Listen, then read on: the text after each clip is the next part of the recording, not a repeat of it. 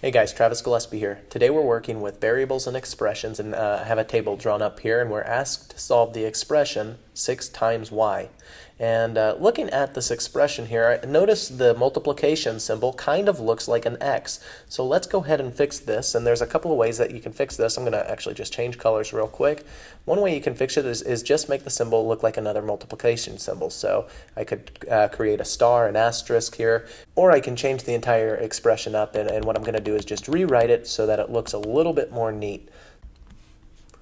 So I'm going to write uh, 6 times y, but I'm going to make it look a little bit different. So I, am going to write 6. I could use an operation here, but since I have a variable that it's being multiplied by, I can uh, just make it look nice and neat and put the two together. So I have the constant leading, and it's uh, being multiplied by the variable. So let's go ahead and I'm going to actually evaluate this expression 6 times y. And in order to find out what value y is equal to, or what value to plug in for y, all I have to do is look in uh, the column over here.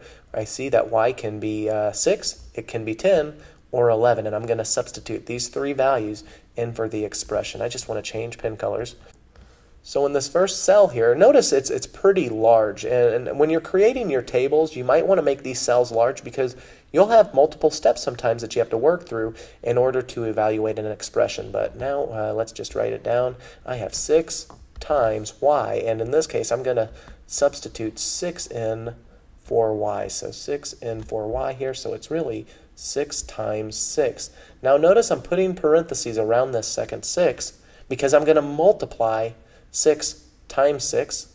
I could have used a, a, different set of operations, but just know when you put two numbers together, when they're being multiplied together, you need to plug that operation back in. Earlier, I, I didn't use the operation because I had a number and a variable being multiplied together. Now I have to plug that operation back in, and we can solve the problem from here. So 6 times y, well 6 times, or 6 times 6 in this case, is 36. So 36 is the answer, and I can box this information up. Let's go on to the next problem. So this time we're going to multiply 6 times 6 times 10. So substitute 10 in for y. 6 times 10, and 6 times 10 will give me a value of 60. And then box my answer up. And finally, 6 times 11. So 6 times 11 will give a value of 66. So let's write that down here. 6 times 11 is 66, and now I can box that final answer up.